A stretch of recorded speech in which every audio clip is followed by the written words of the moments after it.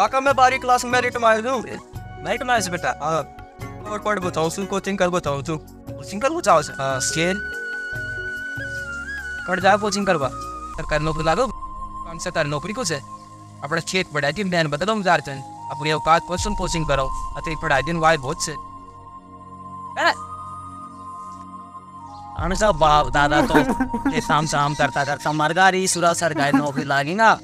दो सरकारी खुआबदार खेताम काम करने वन खारो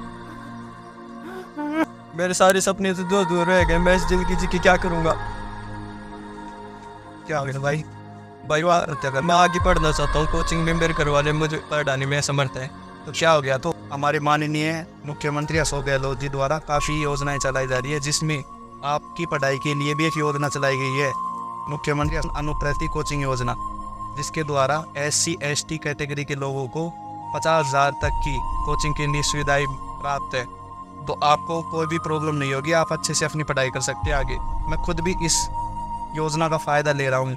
और जो ये अभी जो 10 जुलाई गई है, इससे फॉर्म अप्लाई हो रहे हैं। तो आप भी अपने फॉर्म को अप्लाई करो और इस योजना का फ़ायदा लो। आप भी अपनी अच्छी पढ़ाई करो, अपना उज्जवल भविष्य बनाओ।